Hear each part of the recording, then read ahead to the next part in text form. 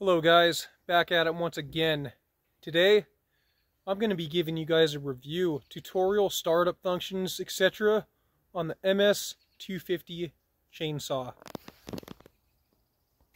This right here, my friends, is the beast of choice for the day. This is a small grade chainsaw. Small not meaning a bad chainsaw, just small meaning it's a small saw and then there's a medium saw and then of course there is a large saw which a lot of large saws they're like 30 inches. This is a saw that is very very good for cutting brush. As you can see it's got I want to say that's uh maybe a 16 inch blade that's on that and it can cut even a lot of big stuff. Not some of the biggest things like those rounds over there.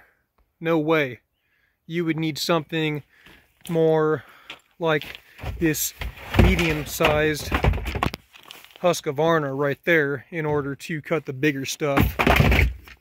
But what this saw is really good for is cutting brush, a lot of brush. It Because it's a small saw, you're going to be able to carry it around all day and not get as tired. Generally speaking, you want to save medium size or large chainsaws for big stuff only. And this was, this is a very special saw because it was actually my grandfather's.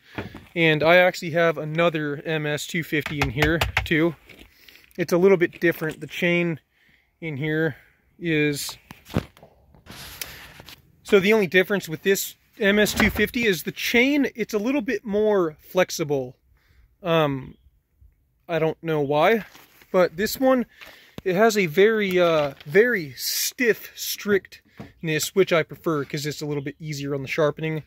I was a little bit psyched out at first when it came to the new FS250 with it having a little bit more of a flimsy chain. But that's all in all just to help the mobility of movement. But I don't mind the clunkiness. So, very basic. Uh, most of you that know your chainsaws might already know what I'm talking about in this video. But this right here is what's called your chain brake. You click it forward, and if this chainsaw is turned on, you rev it up, and it's just going to go because the chain brake's on. So the chain will not spin as long as that brake is on. And to release the brake, just simply pull it back. Very basic, like I said that it's a pull starter. So all you do is just pull this thing to start it. And this is your choke right here. So with these chainsaws, it's gotten a little bit weirder. You, in order to get it to full choke, first what you're going to do is you're just going to press it down to no choke. And it doesn't work to push it down to full choke unless you press the gas down like this so just like the weed eater that I showed you guys, in order to press the gas, you have to press this first, and then you enable this switch to go down. This gas switch has to be held down to enable the switch to click all the way down to full choke. It is now in full choke. Right here, you have, this is your gas tank, and it is full.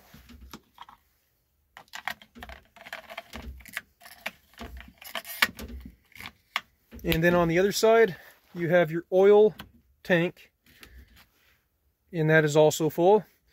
Oil is very critical, as a lot of you might not, as a lot of you may already know when it comes to chainsaws, because if you don't oil them, it absolutely will not, the chain can seize up and you can damage it.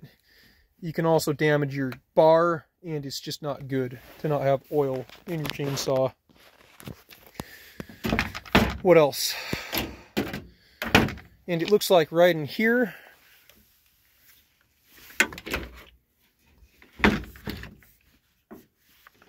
I think in here is your is where the air filter is at, if I'm not mistaken. And a lot of times with these saws is that they won't, they'll lack power. And unless you're holding the gas down, it'll just shut off a lot of times if that happens, it might be because the air filter is really dirty.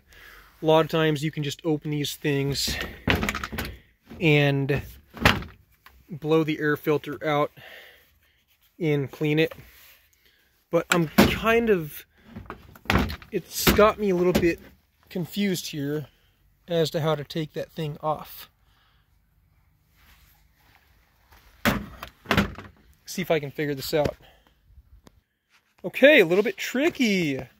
Most chainsaws, you have little screws that you turn to loosen up the air filter cap, but it looks like you just turn this guy like this, and then that loosens all of the hooks that are keeping this thing on. And that is your air filter right there. Uh, I haven't tinkered around with these MS250s very much. Never really cleaned the air filter on these. I've done it on a Farm Boss more than once, an 0432 AV Stihl chainsaw. But this one, okay. Let's see here.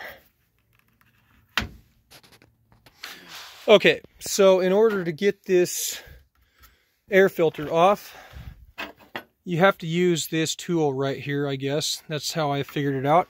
And as you can see, that is pretty hooked on there. And this side is hooked too. Same thing. So really all you have to do is just kind of try to leverage it.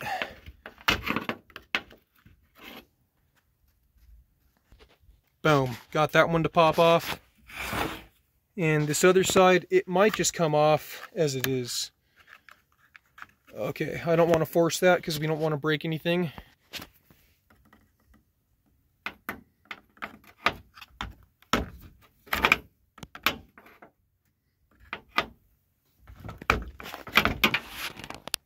Okay, and that thing is off now. And do not force that thing like I just did. Oh my gosh, I am such an idiot. I knew better, but I did it anyways because I wanted it off. So, yeah, luckily it's not, dang it. See, it's too easy to come off now, but as long as this cap is still on, it should be okay. A lot of times, if your chainsaw is not going, to, is not running that well, it's very simple. Just clean out the air filter. A lot of times, sometimes there's gas that can leak down into the air filter when you're using the saw. It's very simple. Just take the air filter out, turn on your vehicle on the heater, and hold the air filter to the heater as a fan, and it'll dry out the gas that is stuck in there. Okay, now that I've given you guys a kind of the demonstration, uh, pretty much how this thing uh, works and whatnot, let's go ahead and start this thing up. And once again, let's see if I can one-hand this thing. Okay, it's on full choke, so it should go.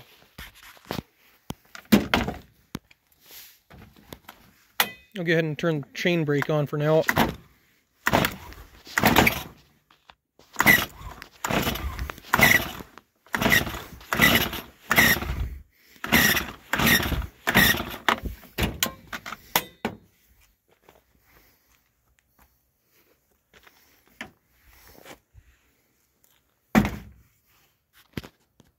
Nope, not going to be able to one-hand it pretty sure you guys could probably see me. Let's just get this thing.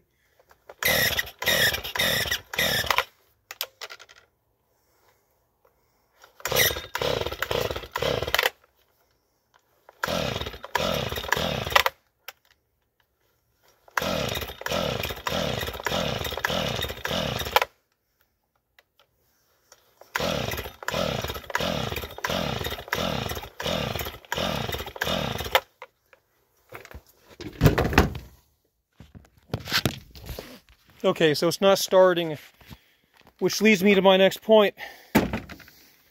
These chainsaws are kind of fickle. They're very reliable, but they flood pretty easily. So you want to do everything you can to not leave them out in the water, just like I might have done.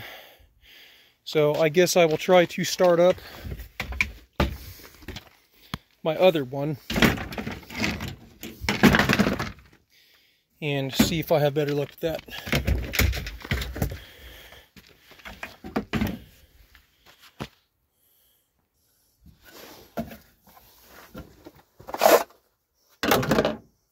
Same thing, choke.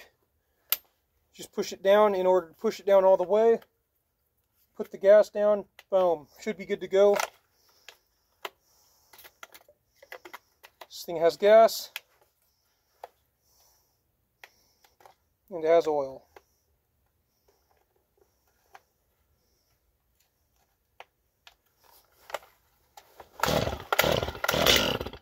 Okay, it popped.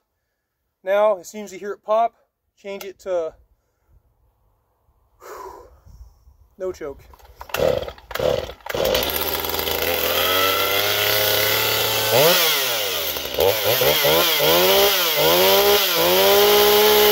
You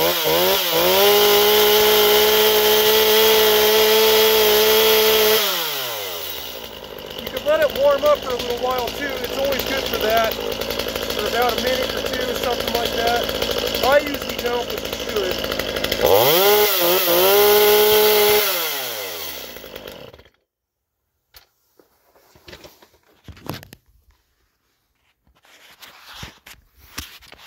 All right, you guys, there you have it. That's pretty much it.